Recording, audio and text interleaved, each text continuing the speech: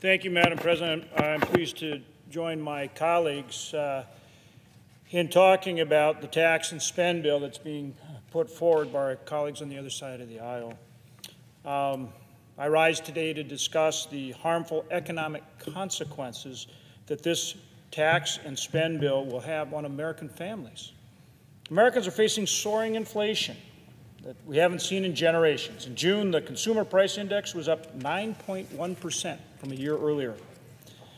The price increases families are seeing at the grocery store, at the gas pump, and for basic housing needs have far outpaced wage gains and left Americans struggling to make ends meet.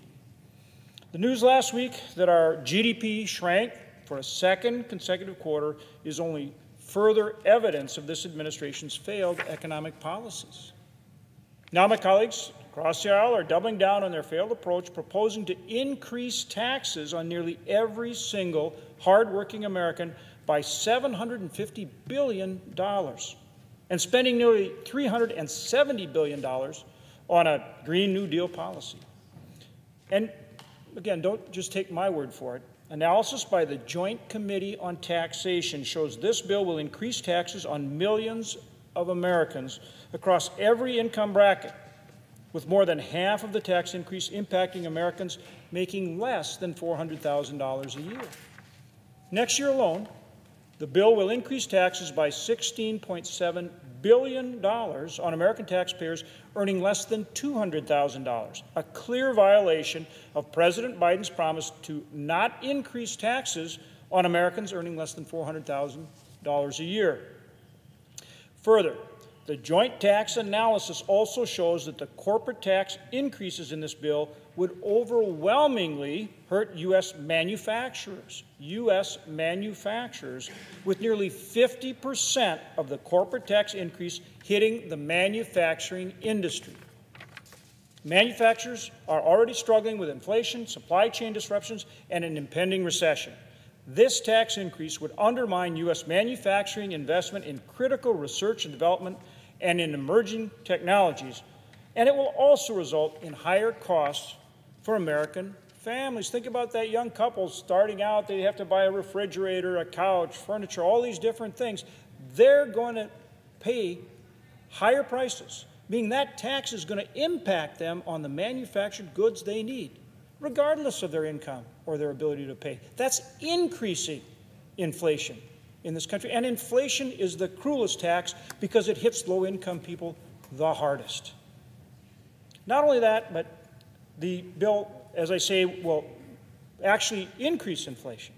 Analysis by economists at Penn Wharton at, the University of Pennsylvania and the Federal Reserve, Moody's Analytics, the CBO all show that it will not reduce inflation.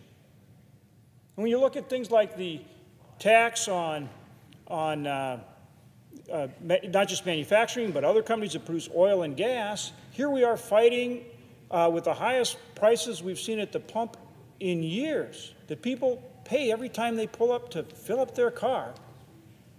And now with increased taxes, that's going to exacerbate the cost of fuel at the pump. It's going to cost the price of impact the price of groceries at the grocery store at a time when we're not only fighting inflation, we're fighting economic stagnation stagflation, something we haven't had in this country since the late 70s and the early 80s.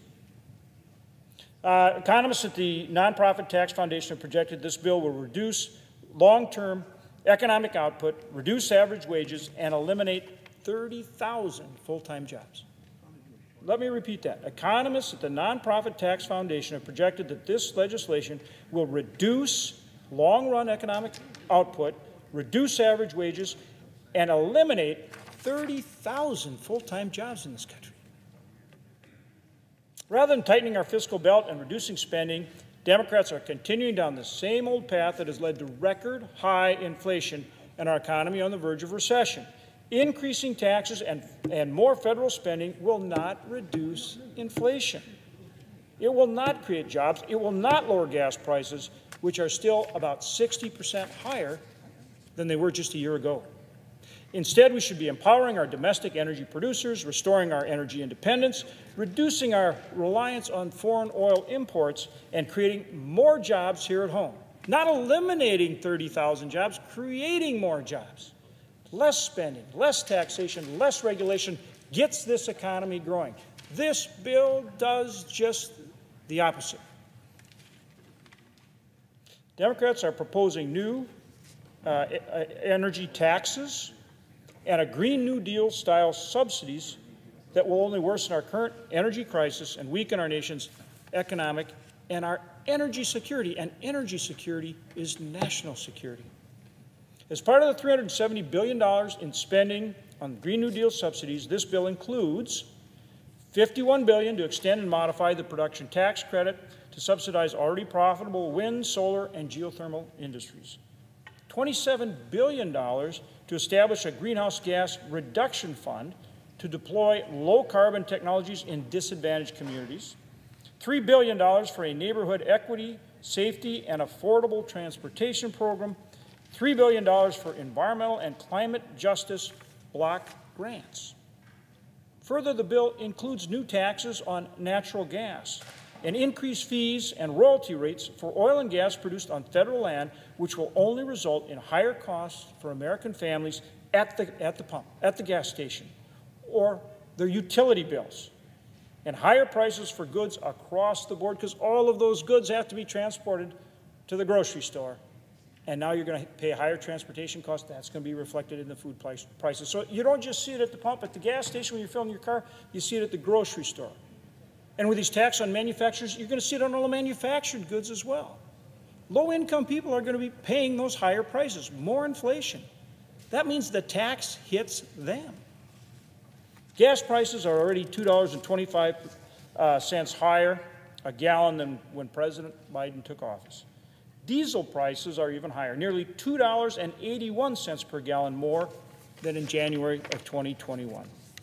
In short, look, we need to unleash our domestic energy production, not ask for help from OPEC or Venezuela. We need to unleash our oil and gas resources in states like my home state or the presiding officer's home state.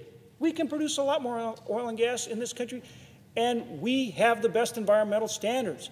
That's how you bring the price down at the pump. More supply, not higher taxes. More supply, not taxes that will drive prices up and reduce supply while we still have increased demand. That's why we have the inflation in the first place. The Biden administration policies are creating the inflation and now the stagflation, and this legislation will make it worse. It's going down the same path.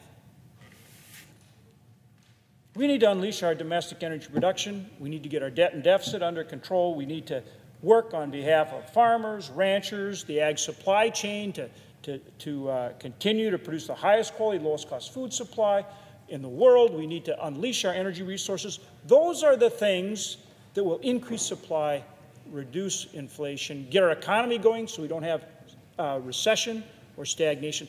Those are the things that benefit all American consumers, all American workers, regardless of their income level. This bill does none of those things. This bill makes the problem worse, and it should be rejected. With that, Mr. President, I yield to my colleagues. President.